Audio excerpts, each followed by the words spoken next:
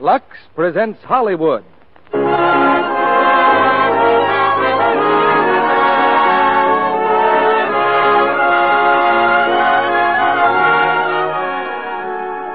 The Lux Radio Theater brings you Bing Crosby and Dorothy Lamour in Dixie with Barry Sullivan. Ladies and gentlemen, your producer, Mr. Cecil B. DeMille.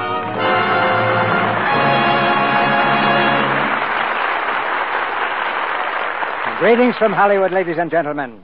This town has given me many unforgettable memories, but none clearer than the sight of Bing Crosby in blackface and sideburns, wearing a shirt that might have been made from one of Dorothy Lamour's sarongs, bicycling down a street on the Paramount lot, puffing gently on a pipe and warbling one of the tunes from Dixie. That was the day I wrote Santa Claus and asked him to bring us Dixie for Christmas. Bing, having just finished the picture Going My Way at Paramount, accepted Santa's invitation to go our way. And then the old gentleman delivered in prodigal style by bringing us Dorothy Lamour and Barry Sullivan in the same package. Barry is the promising young actor who makes his big time debut in Paramount's Lady in the Dark. Dixie is the story of a song. It's been on the hit parade for about 100 years. And tonight you'll hear Bing sing Dixie and some of the other great hits of the picture.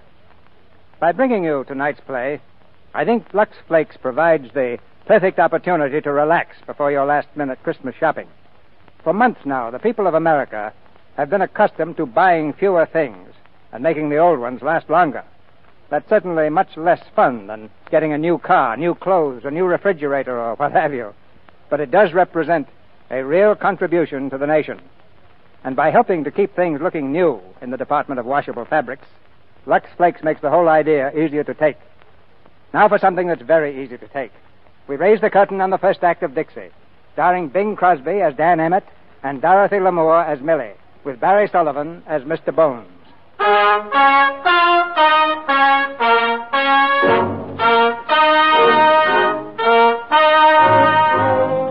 In the period before the Civil War, a new form of entertainment flashed across the American scene the minstrel show. This is the story of the first of the great minstrels, Daniel Decatur Emmett, who donned burnt cork and sang his way into the heart of a nation with his immortal song, Dixie. Daniel Emmett came from a peaceful little town on the Mississippi, peaceful and drowsy, except that on this Sunday afternoon, a fire has broken out in the big house on the hill. Where's the fire? The Mason place. Look at it go. Well, get the fire wagon moving. Come on. We can't. Dan Emmett's got the key. What? The key to the firehouse. Dan Emmett's got it. Dan Emmett. Where's Dan Emmett? Hey, Dan Emmett. Has anyone seen Dan Emmett? Where's Dan Emmett? The key to the firehouse is resting comfortably in Dan Emmett's pocket, and Dan Emmett himself is resting comfortably on the riverbank with his banjo on his knee. And there's a girl beside him, listening with shining eyes as he sings. Won't you tell me when we will meet again? Sunday, Monday, or always? If you're satisfied, I'll be at your side. Sunday, Monday, or always.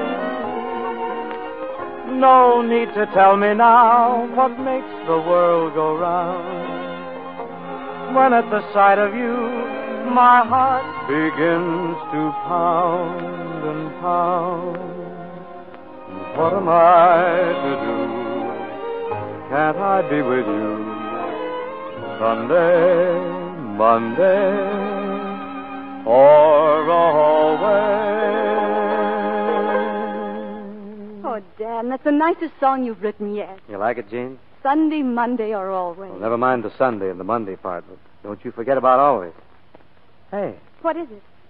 thought for a second I smelled smoke. Oh, Dan, you're always smelling smoke. Yeah, I guess it's being head of the volunteer fire brigade. Job like that carries a lot of responsibility. Yes, sir. You got to be right up on your toes every second. Dan, Dan, look. Hmm? It is smoke. Where? Up there on the hill. Dan, it's my house. Your house? Well, well, come on. I got to get over there. I got the key to the firehouse.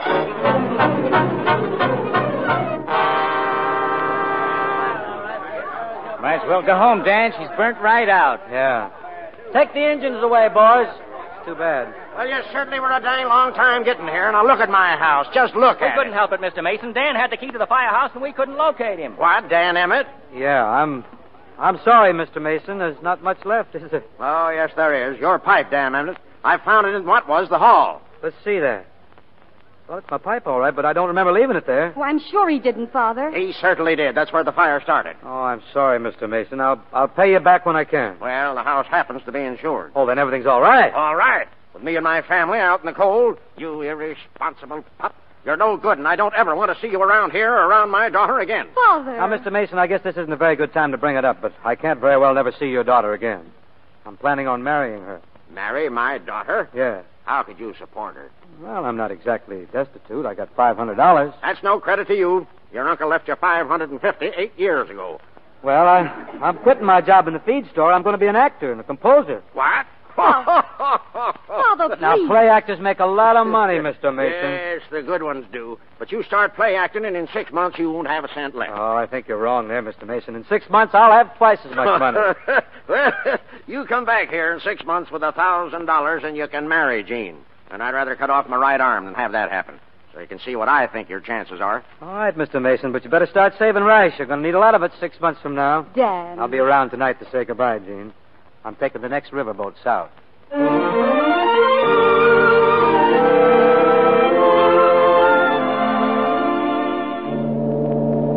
Keep those stevedores moving there. Get that cotton aboard. I looked off at Jordan, but what did I see? Coming for to carry me home. A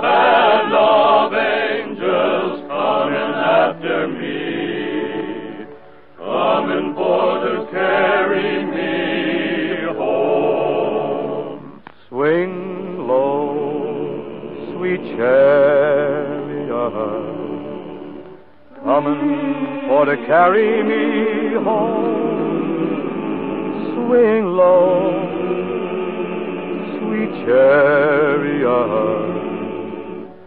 coming for to carry me home. I looked over Jordan, what did I see? Coming for to carry me home, a band of angels coming after me. Coming for to carry me home.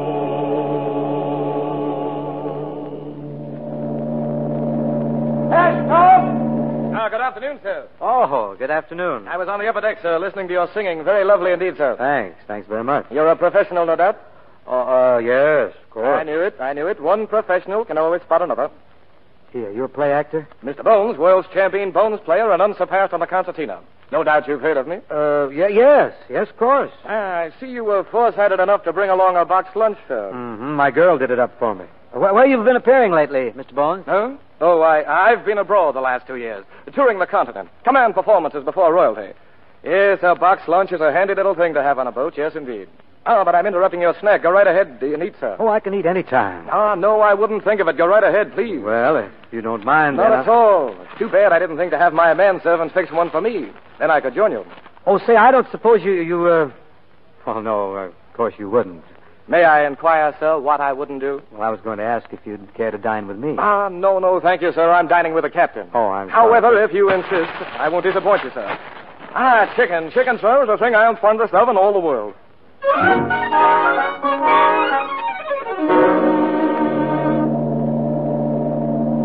My, my, the provisions are all gone. We had quite an appetite, didn't we? Yes, if we eat like that very often, you're going to gain a lot of weight. Uh, tell me, Mr. Emmett, in what theater do you next unleash that golden voice of yours? Right now, I'm not working. Well, uh, don't you find that a bit awkward, being without funds? Mm, well, I had a little windfall from an uncle of mine. Little windfall, or are you just being modest? Well, it was only $500. Well, after all, it's not really the money. It's just knowing that your uncle didn't forget you. Well, well, how shall we spend this pleasant afternoon? Would you care to play some uh, cards? Not for money, of course. No, I don't know much about cards. Well, I don't know much about cards either. I just happen to have these with me. We'll play a very simple game. We'll cut the cards and the high man wins. Now, cut, sir. Now, your queen of hearts against my two of spades. You win. I win? Yes, let's try it again. Uh, cut, sir. Ace of spades. Well, there's no use my drawing. You win again. Uh, once more, sir. Thank you. Oh, you got me this time. Seven of clubs. And I have the six of clubs. Oh, by Jupiter, but you're lucky. You know, it's too bad we aren't playing for money. You'd make a fortune. Maybe we better play something else, huh? no, sir. I'm determined to win at this game. Uh, just to put some incentive into it, Mr. Emmett, um, I'll play you for a dollar. All right, put up your money. Well, no, no, never mind that. I'll trust you. Ah, the king of spades. Now I've got you. Oop, the ace again. Mr. Emmett, how do you do it? I'll tell you what. I'll play you for ten dollars. The same game? Same game. Oh, you may be sorry. that could be. That could be.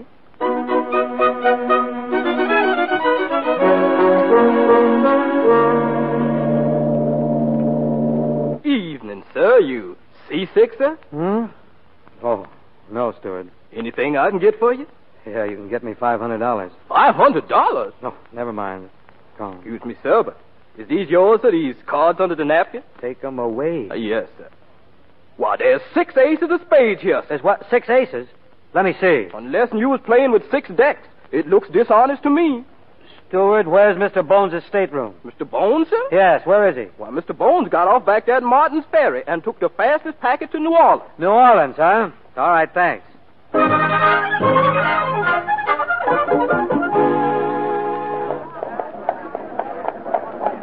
Mr. Bones!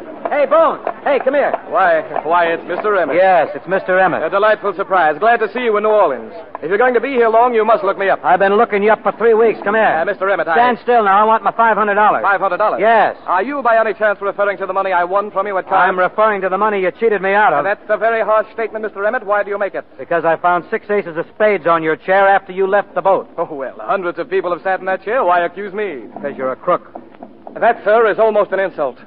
You say I cheated you, Mr. Emmett. I say I didn't. That settles it. Good day, sir. Oh, no, you don't. I want my money, and I want it right now. I'd be very glad to return the money to you to put an end to this bickering, but the sad fact is the money is gone. Gone. All of it? Every sou. Well, I'm going to take it out of your hide. Now, uh, hold on, Emmett, hold on. If you're... If you're hungry, I'll, I'll get you a meal, a fine meal. I thought you were broke. Well, that has nothing to do with it. Help me find a cockroach. I'm not that hungry. Now, you don't understand, sir.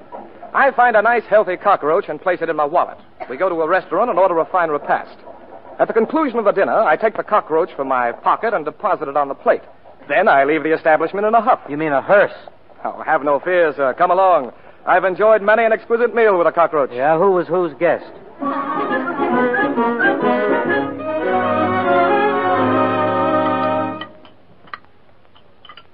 Ah, it's a delicious meal, wasn't it? Now, if there's anything else you want, we'll order it. I want you to be perfectly satisfied. Don't you get the idea this cancels the 500 you owe me. You're going to pay back every cent. You got to go to work on the levee to do it. Mr. Emmett, if you'll cease this petty persecution, I'll sponsor you in the theater. I'll make a place for you in my act. How's that? I'd rather have the 500. Come on, get the cockroach out. Let's go. Yes, I. Oh, wait, wait, dear, dear. Huh? What's what's the trouble? I, uh, I can't find it. Can't find what? The cockroach. Uh, he's gone. Perhaps he's crawled on you. What are we going to do? Did you lose something, gentlemen? Why, uh, yes. As a matter of fact, yes, waiter. I, um, I seem to have misplaced my wallet. And me too. Both of you have lost your wallets? I think we've been robbed. Yes. That, gentlemen, you should be ashamed to use. If I were going to steal a meal, I would have a more original approach. Well, we did have. I'll be glad to sign the bill and send you my check in the morning. It won't be necessary. We can work out something right here. Oh, come on. Let go of me. No money, eh? Oh, unhand me, you. No wallet, Let go of me. eh? Robbed, eh?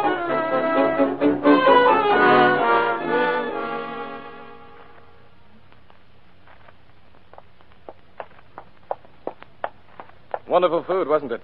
Did you have enough to eat? Yeah, but I'd hate to have to do it three times a day. This is my boarding house.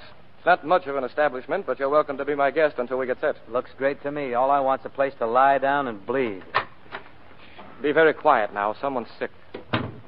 Just a minute, you. Ah, Miss Cook. Trying to sneak in again, are you? Miss Cook, I'm glad I ran into you. I want you to meet a fellow artist of mine, the famous Mr. Dan Emmett. We've toured together. From the looks of you, I'd say you toured several bars together. Miss Cook is quite a wit. Well, come along, Emmett. Just a moment, Mr. Bones. At the risk of being a bore, I'm going to ask you for your rent again. Miss Cook, I've discussed that thoroughly with your father. He understands that when I've decided which local engagement to accept, I can reimburse him. And just where do you think you're taking Miss Emmett? To my room. Oh, no, you don't. You might have made a deal with my father for yourself, but one deadbeat per room is enough. Now, wait a minute. Uh, How do you know I'm a deadbeat? I haven't been here long enough to be one. Well, you can remove all doubt by paying your rent in advance. Oh, well, uh. Mr. Bones! Well, old timer, delighted to see you. I want you to meet one of my colleagues, the famous Mr. Dan Emmett. Dan, this is Mr. Cook. Well, Mr. Emmett, I trust that you're going to stay with us for a while. Well, I thought I'd. No, he isn't, Father. I'm sick and tired of this. Every room in this house is full of down and out actors who came to you and flattered you with a little theatrical talk and settled down to live off us. Millicent, my child. Of course, we know that you don't mean that. You're tired out. Of course I'm tired out. From sweeping and scrubbing and taking and sewing to pay the bills. We gotta draw the line somewhere, and we might as well draw it through Mr. Emmett. I'd like to draw it right through Mr. Bones, too. He not only doesn't pay his rent, but he tries to kiss me every time he catches me in the back hall. My dear, you forget you're very attractive, and actors are emotional people. Besides, Mr. Bones said he would pay us when he had an engagement. Now he has one. Uh, where? Uh, while you were out this morning, a messenger came from the Maxwell Theater. The manager wants to try out your act tonight. Ah, they've always loved me here in New Orleans. I imagine this engagement will be sensational. Well, come on then. Let's start putting our routine together. Our routine? And why do you use the plural pronoun? We made a deal. You agreed to take me in with you. Oh, that was a hypothetical case. Sometime in the future, yes. Tonight, however, I am doing a single. If you do, you'll be doing it in your underwear. And what do you mean by that? This is too good a chance to miss. We can get two jobs instead of one. In fact, we can get four by using those two broken down actors in room six. That means four actors paying rent instead of none. So, Mr. Bones, you better change your mind if you don't want your clothes ro- locked in your room. Well, what do you say, Mr. Bones? Do we go with you, or do we lock you up? Wait. What are you going to do about those black eyes you're wearing? Makeup won't cover those. Don't expect a solution from me. I know what you could do. You can't change the color of your eyes, but you can make your faces up to match them. Go as darkies. Miss Cook, if you think the audience would stand for our masquerading as Africans, why, why, we'd be run out of the theater. Well, I'd rather be run out of it than never get in there at all. Come on.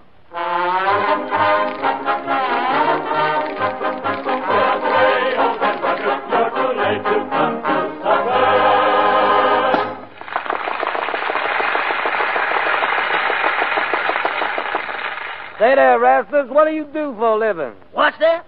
What do I do for a living? That's what I say. Well, I do as little as possible. Yuck, yuck, yuck, yuck, yuck, yuck, yuck. Say there, Mr. Man, I bet you's a lying with the lady. That's what I is, brother, and you ain't just lying.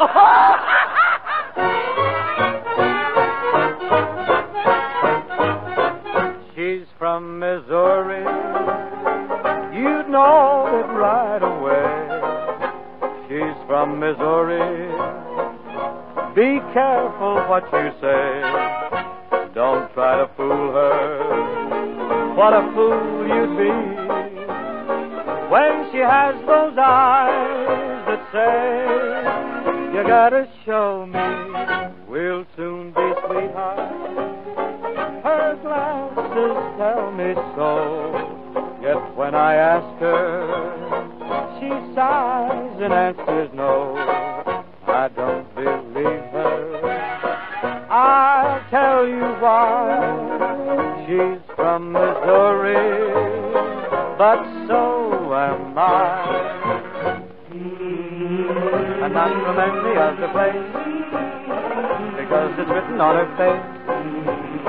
And just as sweet as any rose, you'd be surprised at what she knows. I don't believe her. I'm gonna tell you why. She's from Missouri, but so am I.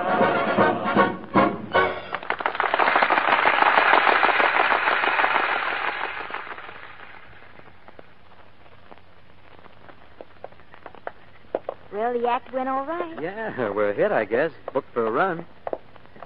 Kind of nice you let me walk home with you. Oh, it's not so nice. I'm just not letting you out of my sight till we settle the terms of your rent. Oh, yeah. On top of that, I, I just couldn't cope with Mr. Bones tonight. He has the instincts of a boa constrictor. I knew he was a snake, but I wasn't sure what kind. I have to fight him off three times a day. Why don't you speak to your father? My father? Yeah. He's about as much protection as a lace shawl. You know, I have an idea that you're pretty able to take care of yourself, too. I've been doing it since I was nine. How long you been an actor, Mr. Emmett? Not very long. I didn't think so. An experienced actor would have kissed me before I'd gone ten feet. Well, I'm not that inexperienced. I thought of it before we'd gone five feet. Then why didn't you? Hmm? Why don't you? I think we should have gone five feet further.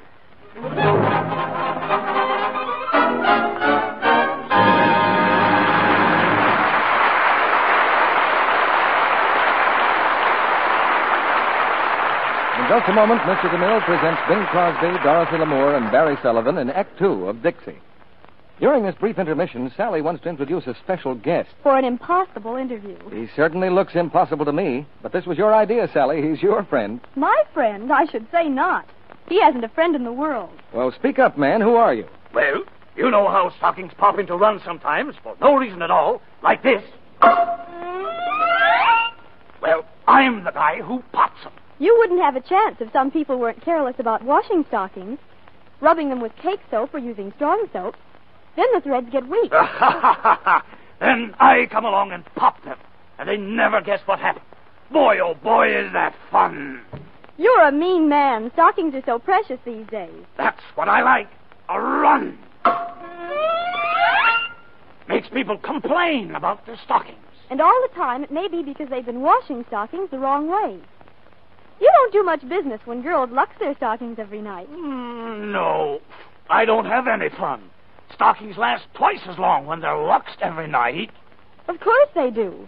They stay elastic so they can stretch and spring back into place without breaking into runs. Yes, that's why it pays to lux stockings nightly and never risk strong soaps or cake soap rubbing. Actual strain tests prove Lux cuts down runs over 50%. That's twice the wear with gentle Lux Care. Don't waste Lux Flakes. Use all you need to get rich suds, but no more than you need. We pause now for station identification. This is the Columbia Broadcasting System.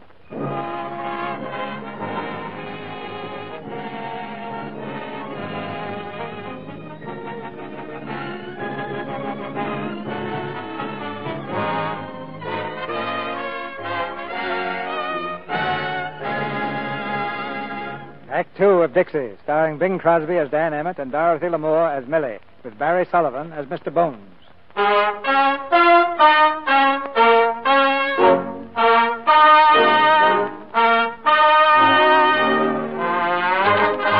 The minstrel show has been born in New Orleans.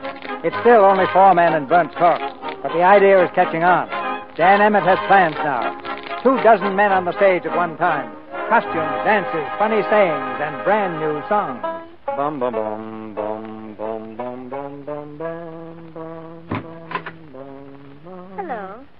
Oh, good morning, Millie. I hear you had standees at the theater again last night. Well, we haven't had a vacant seat for oh, the last two weeks. Bum bum bum. Don't you ever get tired of working? You're at the theater all night. I shouldn't think you'd want to be writing songs all day. Well, I'm not getting anywhere with this one. Tune keeps running through my mind, but I can't think of any words for it. What you need is to relax. Why don't we take a walk this afternoon? It's a wonderful day. Well, I don't know. That that walking maybe maybe isn't so good. I hey, I smell smoke. Smoke? Hey, look out! It's my, my pipe on those papers. Oh, Dan, don't burn yourself. That's all right. Hey, that was close. I got into trouble like that once before. Let me see your hand. Did you burn it? Just a little. Let me see. Oh, Dan, I, I'm so sorry. No, it's not bad. Look. Here, let go, will you? Hmm? Let go of my neck. Uh, Dan, kiss me. well, here we go. Good morning. Oh, Father. I'm sorry to interrupt, but I was looking for Mr. Bones. He's going to enlarge his act, you know, and I might even consider going back on the stage myself. Oh, go right ahead with what you were doing. I'll see Mr. Bones presently. He, uh, he said for us to go on with what we were doing. Millie, I think it's a pretty good thing he came in. See, I don't know what's the matter with me. I'm in love with Jean, and I'm going to marry her. If that girl really meant anything to you, you couldn't kiss me like that. Well, you sort of sneaked up on me. Oh, did I? Well, I'm not going to sneak up on you anymore. Hey, Millie.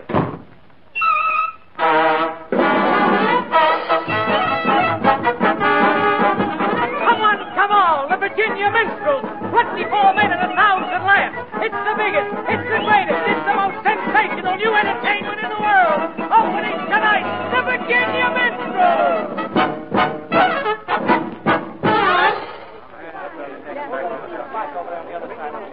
Good luck, Father. Thank you, my dear. Thank you. Good luck to all of you. Ah, thank you, my sweet. Thanks and I suppose, Mr. Emmett, if you are successful tonight, you'll be racing back to marry that girl of yours. Yeah, we're sending for her to come here. Oh, won't that be nice? Perhaps we can make it a double wedding. Mr. Bones and I are getting married, too. We are? When did I ask you? You didn't. But if you weren't leading up to it, you're a cad. Well, I don't mind. At least we can try it for a while. Well, aren't you aren't you going to congratulate us, Father? Well, well, my little girl married. Seems only yesterday that you were in pigtails. My congratulations to both of you. Uh, which ones you say you were marrying? I believe she designated me. Oh, really? On stage, ready for the curtain. Good luck again, Father. Goodbye, my dear. Goodbye. Bye, Millie. Uh, you didn't congratulate me, Emmett? Congratulations. Your enthusiasm overwhelms me.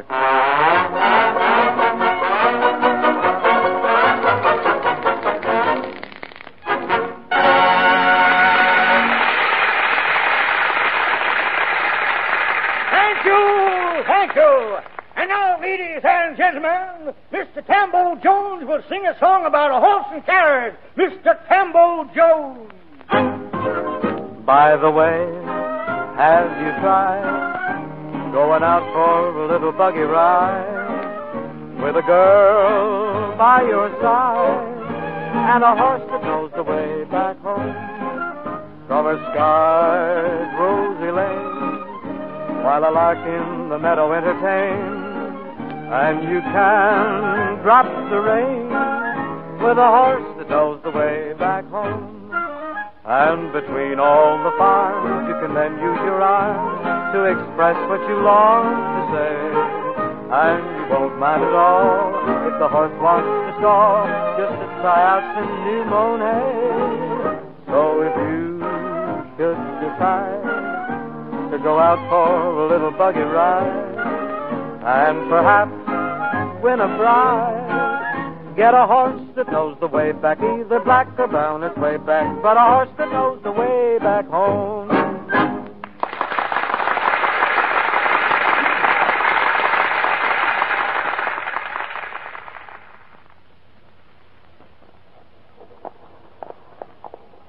Will Antoine's be all right, Millie? It's all right with me. We really ought to celebrate this occasion, you know. The show a success, our engagement. Driver, Antoine. Yes. Wait, hold that cab, driver. Millie, can I see you a minute? I'm sorry, we're just going to. Well, this is important.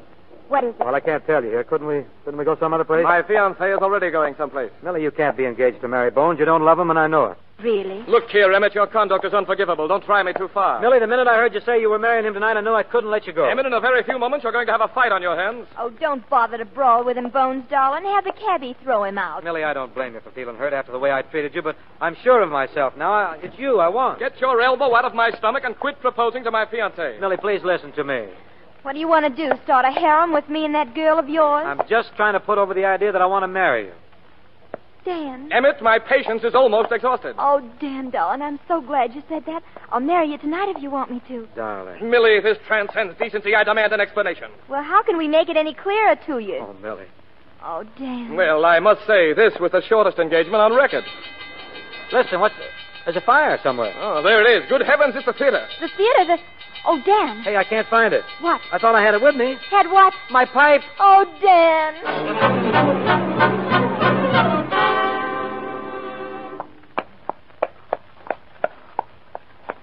What an eventful evening. The show was a triumph. I've been engaged to two men, and the theater burns down. I wonder what'll happen next. May I say I've had enough? Oh, don't be depressed, Dan. You'll be back at work as soon as the theater is rebuilt. We can use that time to get married and have a honeymoon. Well, before we get married, I think I'd better go back and talk to Jean. Go back. Well, why don't you write her a letter? You can write, can't you? Oh, you? you can't break that kind of news in a letter. You know how it is in small towns. People sort of pair you off, and when it doesn't go through, it's a tragedy. Really, the only decent thing for me to do is go back and talk to her in person. I Just got to make her understand. It may be decent, but I think it's silly. What do you expect me to do while you're gone? Miss me, I hope.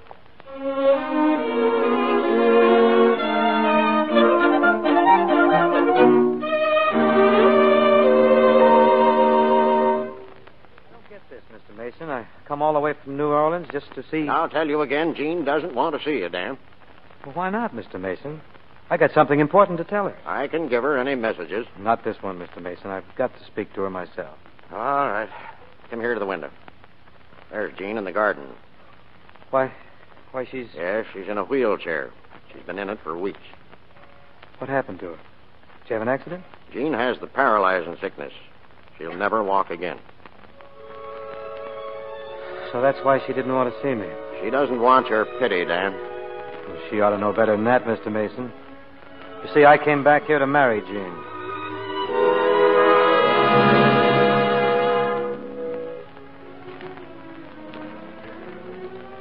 Dear Millie, I suppose you've been wondering why I haven't written. Millie, there's no gentle or easy way I can say this, so so I'll tell you right out. I'm I'm married to Jean. I can't explain it because there's, there's nothing to explain. We're in New York where I'm working on some new songs.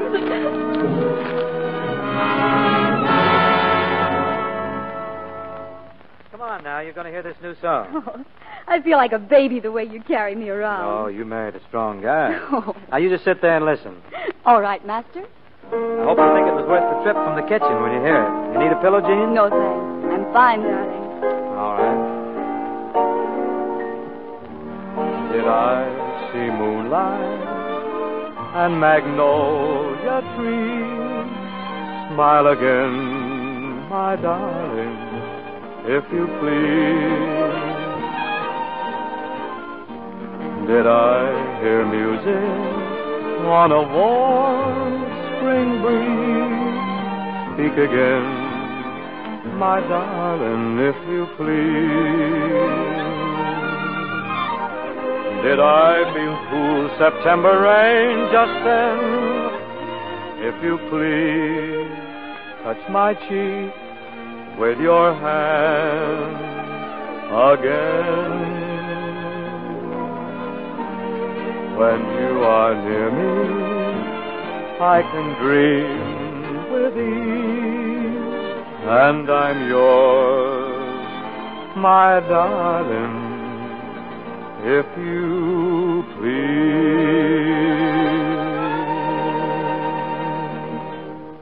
Dan, that was lovely. You really think so, honey? It's the best thing you ever wrote. Oh, you're a wonderful audience, Jean. You like 'em all. Of course I have, because they're all wonderful songs. Why don't you try that new publisher you were talking about? I'm going to. This morning. I'm going to start right at the top and bombard 'em with my collected works. Keep your fingers crossed, huh? Oh, good luck, darling. And hurry back. You know something? You're the bravest little wife a fella ever starved with.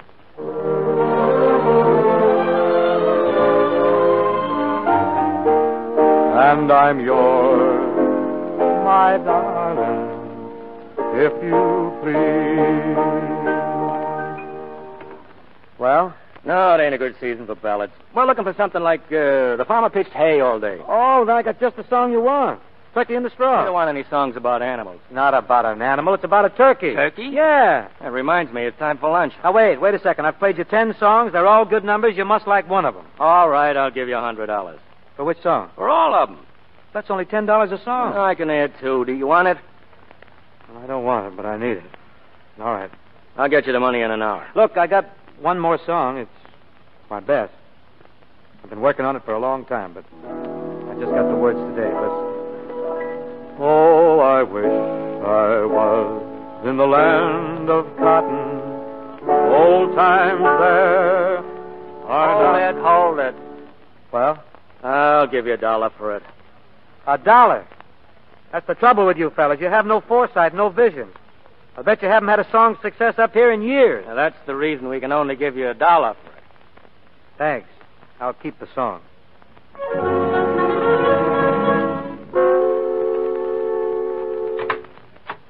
That you, Dan? Hiya, honey. We're rich. What? Look, a hundred dollars, all ours. I went up to the publisher. Hiya, Dan. Oh, hello. Mr. Cook.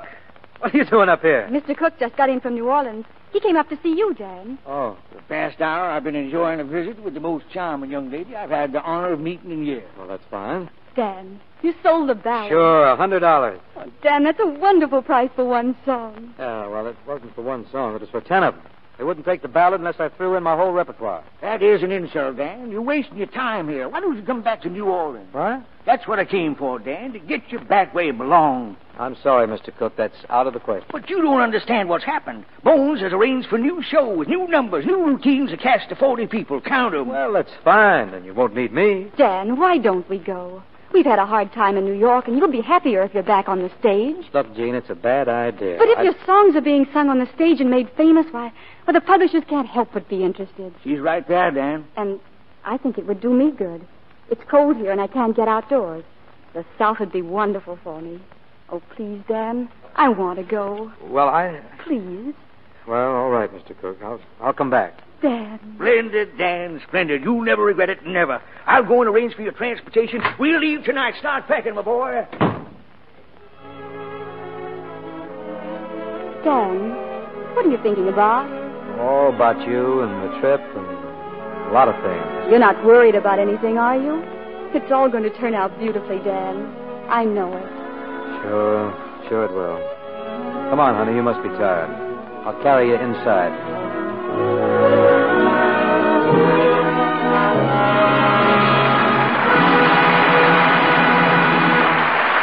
Mr. DeMille will return in a moment with Bing Crosby, Dorothy Lamour, and Barry Sullivan for Act Three of Dixie. We have a special guest here tonight, and I'd like her to say a word now. She's Lieutenant Junior Grade Helen Rhodes of the Navy Nurse Corps, who served with our Navy at Pearl Harbor.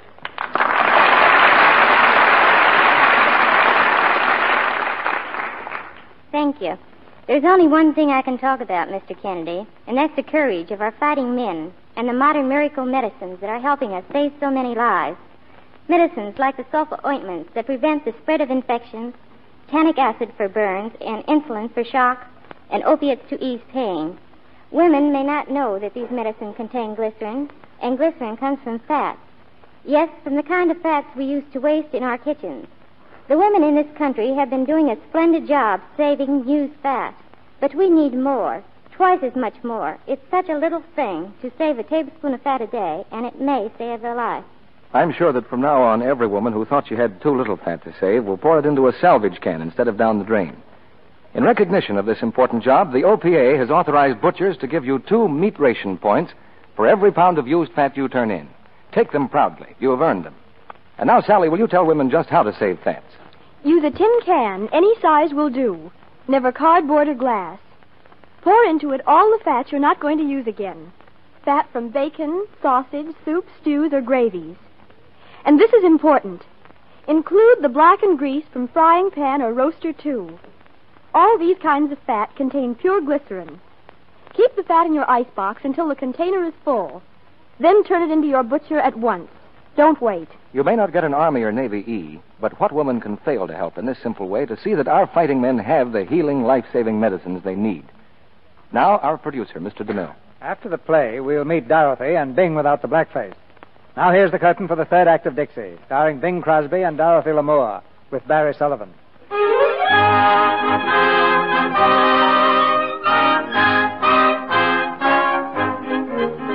In the boarding house in New Orleans, Millie awaits the arrival of the new guests.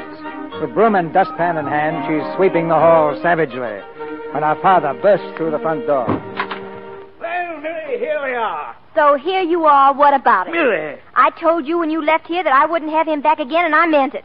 And if that woman he married tries to set foot in this house, she'll find herself flat on her back on the front walk. Now, Millie, you mustn't talk like that. Mr. Emmett is to be considered a professional associate of mine. I demand the same respect for him that you show me. That's just what he's going to get. Millie, please, for my sake, be ladylike. Be, be civilized. All right. I'll hit her daintily. Here they come. Where is she? I'll why. Why, he's wheeling her. She's in a wheelchair. Oh, she is. Didn't you know? She's an invalid, Millie. Oh, no. No, I didn't know. Come right in, Dan. Hello, Millie. Hello. This is my wife. Jean, this is uh, Millie Cook. How do you do? I'm glad to know you, Miss Emmett. Thank you. Well, Dan, it, it's been a long time. Yeah. How have you been? Pretty good, Millie. And you? Oh, wonderful. A little tired, though. I've been going out too much at night. Well, Emmett, delighted to see you again. Hello, Bones. This is my wife. How do you do? A great pleasure, Mrs. Emmett. Thank you. Emmett, this must be fate. You're coming back just when there's an opening for you in the act. Oh, I'm lucky. Well, everything's all settled. Now all we need is an engagement. Engagement? I thought there was a deal all set for a new show. Well, we had a little bad luck there. That nosy manager at the Maxwell surprised us during a rehearsal before we had the act whipped into shape. Without a word of warning, he canceled our engagement. Oh, well, there must be other theaters in town. Oh, several. I haven't given up yet. I'm going to see Mr. Devereaux, the manager of the French Opera House, this afternoon. Oh, they wouldn't have a black-faced act in there. They won't listen to anything unless it's sung by a 200-pound tenor. Well, I only weigh 160, but I'm going to see Devereaux at the Opera House. You won't find him there, friend. He spends all his time playing cards at the Delta Club. Cards, huh? Well, you say cards? That suggests things, eh, Bones? I, um, thought you didn't approve of my playing cards. Well, not when I'm the victim. Strikes me, Mr. Bones, that Mr. Devereaux would be quite helpless in the hands of a scientific player like yourself. Hmm? Your suggestion is not without merit, Mr. Emmett. Millie, you'd better start thinking up some new costumes. We'll need them.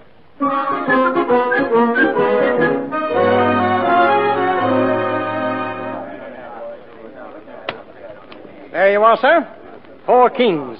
Beat that if you can, sir. Very nice, Mr. Devereaux, but not nice enough. I have four aces. Again, huh? Uh, rake in the chips, Mr. Emmett. Would you care for another game, sir? Uh, not tonight, Mr. Bones. I fear I've overpaid myself to the extent of a couple of thousand dollars. I trust an IOU will suffice, sir? As a matter of fact, it won't. Why, sir? You're inferring my word's not good enough for you? I prefer cash. Egad, you're a cheap horse trader. In the South, sir, a gentleman's word is unquestioned. An insult like this demands satisfaction. You'll get it, sir. Wait, wait, sir, wait, sir. Mr. Bones, sir, you're forgetting that I accompanied you here at the request of your wife to prevent you from dueling. You've been fighting too much lately, sir, and she says she will not be married to a murderer. I detest killing people, but the man asks for satisfaction. I leave it to you. Broadswords, rapiers, pistols, they're all the same to Now, now, just a moment, Mr. Bones, sir. I'm sure that Mr. Devereaux will be agreeable to some method of payment. Obviously, he's a man of honor. Thank you, sir. Now, may I suggest that you two gentlemen meet privately and arrive at some agreement which will prevent the spilling of blood, uh, you all. Well, very well. I don't mind dueling, but I do hate getting up early in the morning. Well, I'm at your service, sir. Just what's in your mind? Well, I was going to suggest, sir, that I might assume your obligation to Mr. Bones in exchange for you doing me a small favor. Uh, what sort of a favor? Well, perhaps we had best discuss that within the private confines of your office. Uh, very well, sir. Just follow me.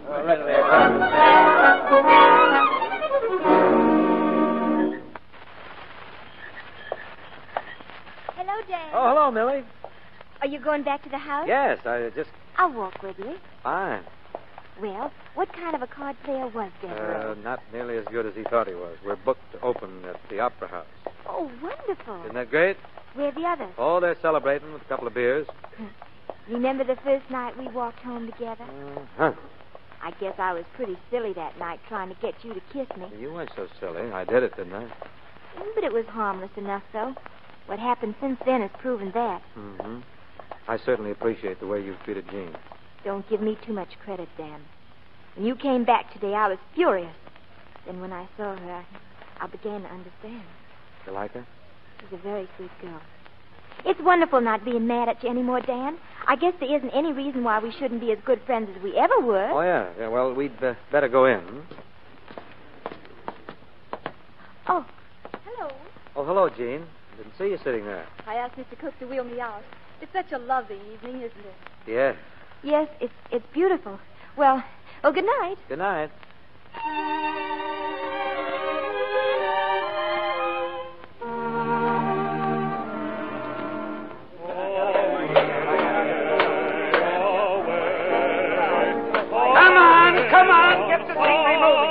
We're supposed to open this curtain tonight. Don't ask me why.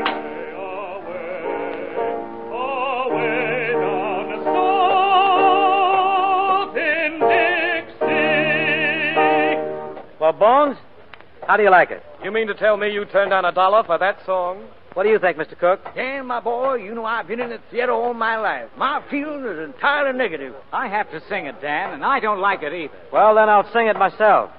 That song has got to go in the show. Dan, Yeah, honey, what? Dan, you know more about this than I do. But it seems to me the song should be played faster. Well, not to me it doesn't. People can yell all they want to, but that song's going to stay the way it is. Oh, Mr. Emmett, sir. Uh, could I speak to you a minute, sir?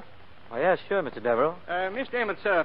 Our subscribers were expecting a more dignified type of entertainment. We cannot permit a blackface act in the French Opera House, sir. Oh, no? Well, I've got a contract for three months signed by you. What about it? Uh, I know, sir, but uh, if you fail tonight, are you willing to settle your contract? If we fail, we'll be glad to settle if you can catch us. Then it's agreed.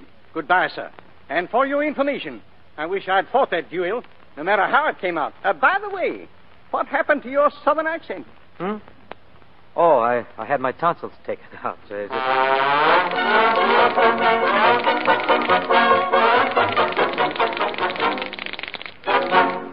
Gentlemen, be seated.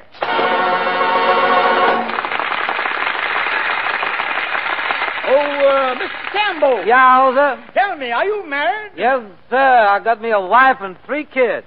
Oh, so you have a wife and three kids to look out for. Uh, no, just my wife. I can lick the kids. Ladies and gentlemen, introducing a song called Sunday, Monday, Always, sung by Dan Emmett.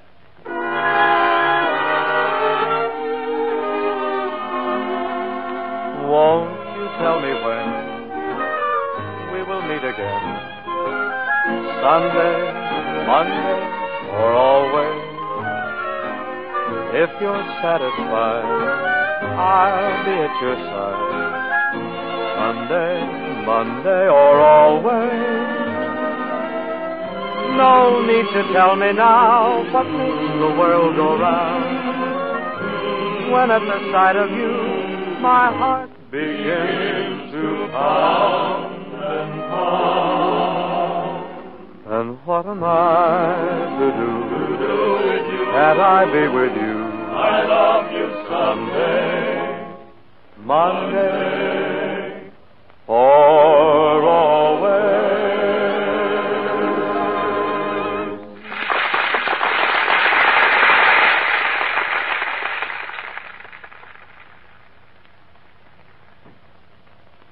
Jean. Jean, aren't you going to watch the show? What are you doing down here? I, I had someone wheel me to Dan's dressing room. I. Jean, what's the matter? Nothing. Why, Millie?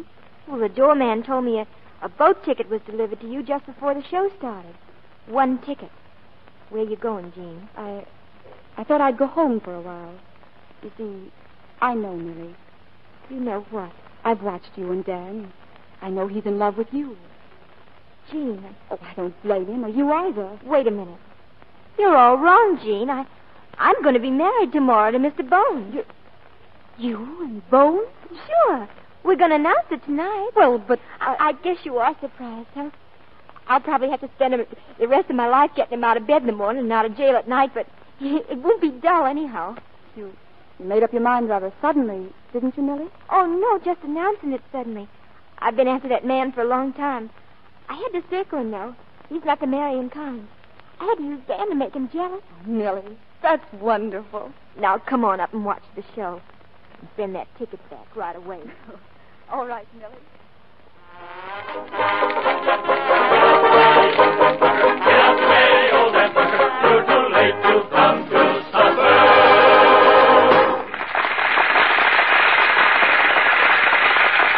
Oh, uh, Mr. Campbell. Yeah, the... Why are you always broke? Don't you take your salary to the bank every week? Got to. It's too small to go by itself. I hear you have a dog, Sambo. Yes, sir. I done got me the smartest dog, most expensive dog in the world. But I done sold him. You sold your dog for how much? Hundred thousand dollars. Cash money? No, I got me two fifty thousand dollar cats. Mr. Cook, I smell something. I smell smoke. Good gracious, the theater's on fire. Well, play something. Play something quick. Play something a fast tempo. Hurry up. Play Dixie. Yeah, sing it, Dan. Sing it loud. Just keep the seats, folks. Keep the seats. I wish I was in the land of cotton. Old times are not forgotten. Look away, look away, look away, Dixieland. In Dixieland, where I was born in early on a frosty morning. Look away, look away, look away, Dixieland. Then I wish I was in Dixie. Hooray, hooray. In Dixieland, I'll take my stand to live and die in Dixie. Away, away, away down south in Dixie. Away, away, away down south in Dixie.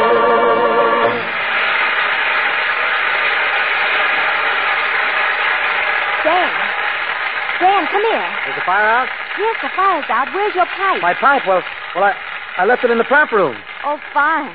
That's where the fire was. Dan, get out there. We're doing Dixie again. The heat is up. Where's Jean? Jean? Here, Dan. Hey, darling, you were right about the way Dixie should go, but it took a fire to make me believe you. Come on, Dan, come on. Yeah. So long, darling. I'll see you after the show. So long, darling. Bones, come over here. Yes, what is it, Millie? Listen, don't make any appointments for tomorrow Hey, why not? because we're going to be married. Married? Well, this is very sudden, Millie. Well, at least you can say thank you. Oh, yes, of course. Thank you. You're welcome. Away down south in Dixie.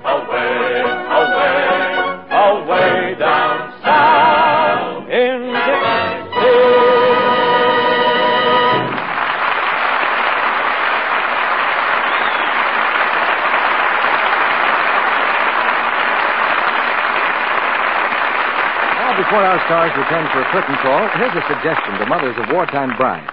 In Ceylon, a new son-in-law has to pay the bride's parents the cost of washing the bride's clothes from birth right up to the day she's married. Why, Mr. Kennedy, that wouldn't be much if she's a Lux girl. No, Lux is a thrifty way to take care of clothes, keeps them new-looking longer, too. And making things last is mighty important these wartime days. If you've been shopping lately, you've probably noticed that many types of fine cottons and rayons just aren't being made anymore. Looms are too busy turning out materials for war. So it's up to us to take extra special care of those nice things we have. You couldn't use anything safer than Lux Flakes. A little Lux goes so far, you'll find you can do an amazing amount with one big box.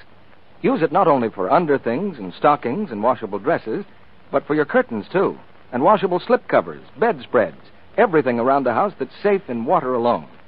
If your dealer is out of Lux Flakes today, be patient. He'll have more soon. You can be sure Lux is worth waiting for.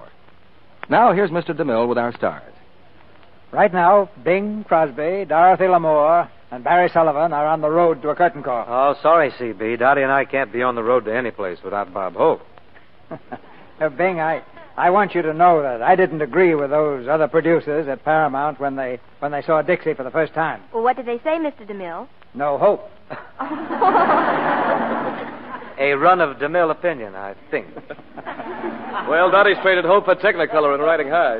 yes, you know, I, I like to make a picture without a sarong once in a while. You mean you don't even wear a sarong in riding high? What's the wrong about that? It's a western. Oh, girl, you.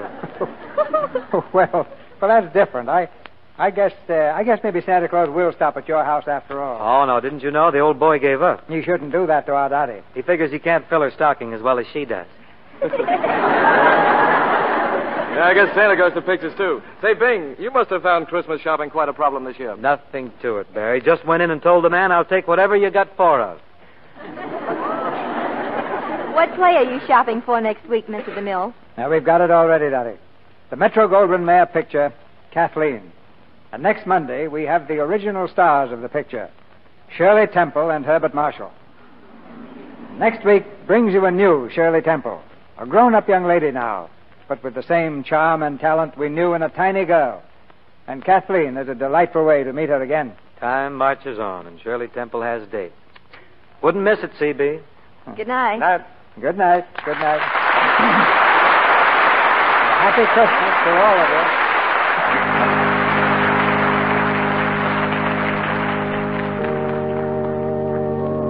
Ladies and gentlemen, as our third wartime Christmas draws near, it seems to me that we are closer to the true Christmas than for many years past. Closer to the Christmas immortalized by Dickens. The holiday our fathers knew on snowbound farms, and to the Christmas of the little inn of Bethlehem. The false trappings have fallen by the wayside. A warmer kinship joins us all together and brings us, here at home, close to our own out there. From an American Army sergeant has come a message that is especially fitting for this week. The sum of all his experience in battle is in these few simple words There are no atheists in foxholes. May we at home profit by that thought.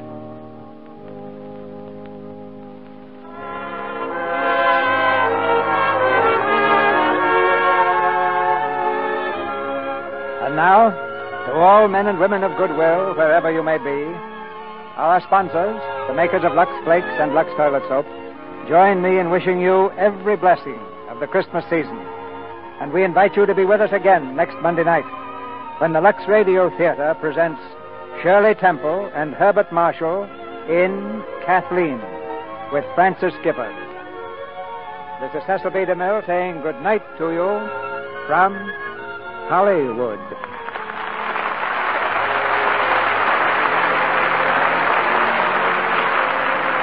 And folks, here's a date to remember. It's next Wednesday, December 22nd. That's the day when once again you can hear one of radio's proudest moments. That traditional Yuletide treat, Lionel Barrymore in his best loved role of Old Scrooge in Charles Dickens' immortal story, A Christmas Carol. It will be broadcast on Wednesday, December 22nd, over the Columbia Network. See your local paper for time and station. Dorothy Lamour and Barry Sullivan will star together in the Paramount picture Rainbow Island. Heard in tonight's play were Leo Cleary as Mr. Cook, Louise Arthur as Jean, and Cliff Clark, Norman Field, Ed Emerson, Charles Seel, Horace Willard, Eddie Marr, and Griff Barnett. Our music was directed by Louis Silvers. This program is broadcast by International Shortwave to our fighting forces overseas through cooperation with the Armed Forces Radio Service. This is your announcer, John M. Kennedy, inviting you to tune in again next Monday night to hear Shirley Temple and Herbert Marshall with Frances Gifford in Kathleen. Say, lady, take a minute. What for? I'm buying vitamins. Exactly. And before you buy, look at the labels. Take a minute, see what's in it. Some products, you know, leave out vitamins A and D, or the essential B complex.